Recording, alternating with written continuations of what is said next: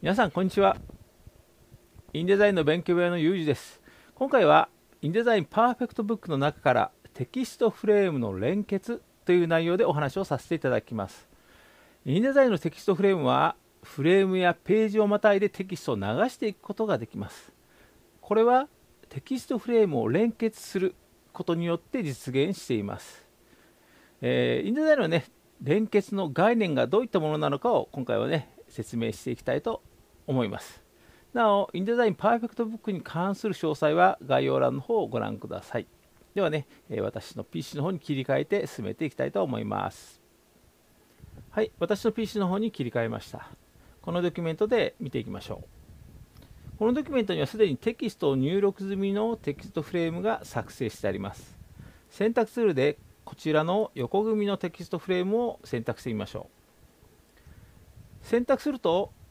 各コーナーとその中間にハンドルと言われるね白い四角形が表示されるのがわかると思います。これとは別に左上のこの部分にちょっと大きめの四角形が表示されます。これをインポートと呼びます。そして右下のところにちょっと大きな四角形。これをアウトポートと呼びます。同様に縦組みのテキストでも見ていきましょう。右上のところにちょっと大きめの四角形これをインポート。左下にはアウトポートが表示されます。実はインデザインの連結というのはこのインポートとアウトポートをつないでいく作業となっています。ではねこちらのテキストで見ていきましょう。はい。選択しました。ね。するとアウトポートが赤になっているのが確認できるかと思います。この表示になっている時はテキストがこのフレーム内に入りきらずに溢れているという状態を表しています。では、この溢れたテキストを別のテキストフレームに連結して表示させていきたいと思います。まず、このアウトポートをクリックします。すると、マウスポインターの表示がこのように変わりました。今、マウスポインターが溢れた文字を掴んでいる状態だということが言えるでしょう。さあ、この状態からドラッグしてみましょう。どうでしょうか？テキストが連結された状態で今作成したテキストフレームに流れたのが確認できるかと思います。ではこの2つのテキストフレームがちゃんと連結されているかどうかを確認したいので表示メニューから、ね、連結の表示を確認してみましょう。表示メニューからエクストラテキスト連結を表示こちらを選択します。するとどうでしょうか？1つ目のテキストフレームのアウトポートから2つ目のテキストフレームのインポートに、青い線が表示されたのが分かるかと思います。これが連結されているということを表しています。それでは2つ目のテキストフレーム、ね、見ていただくとまだねテキストが溢れているのでこちら再度クリックをしてドラッグしてみましょう。こんな感じですね。このようにして次々とテキストフレームを連結していくことができるというわけです。では今度は3つ目の、ね、テキストフレームのインポートをクリックしてみましょう。またねテキストを掴んでいる状態のマウスポインターの表示に変わりました。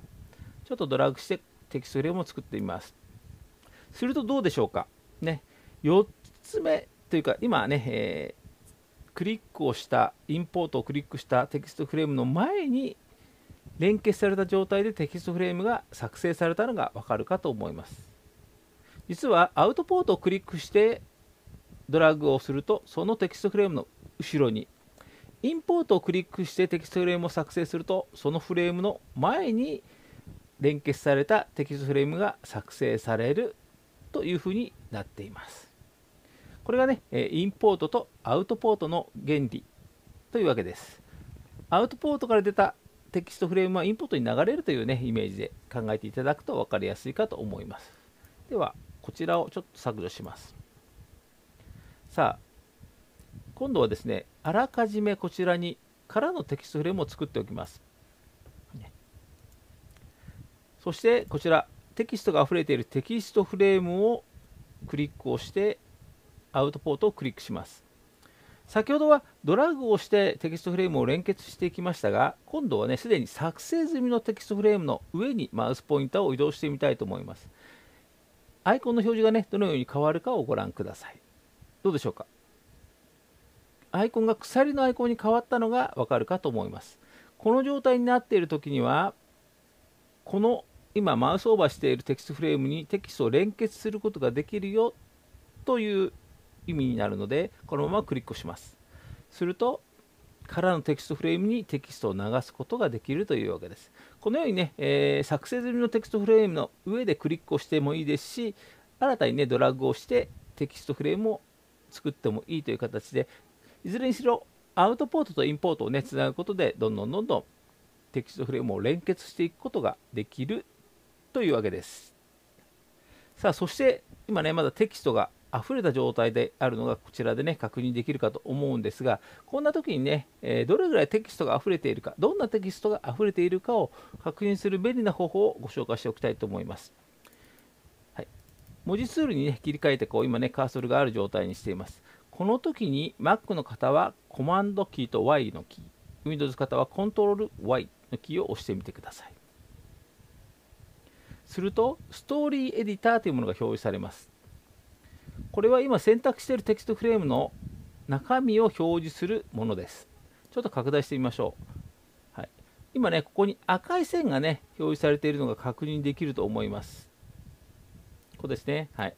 これはテキストが溢れていることを表しています。つまりここね、ここまでしか今テキストが入っていないよと、これ以降がテキストが溢れているよということを表していますので、どれぐらいね、えー、テキストが溢れているか、どんなテキストが溢れているかを確認したいときは、このストーリーエディターという表示をさせると便利です。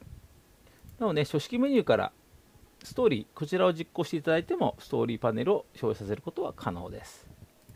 ということでね、今回ね、えテキスト連結の概念についてご紹介をしてきました。インポートとアウトポートをね、つないでいいくことによって連結がされているということをね、きちんと理解していただければ、テキスト連結は難しい操作ではありません。ぜひね、皆さんも試していただくといいかと思います。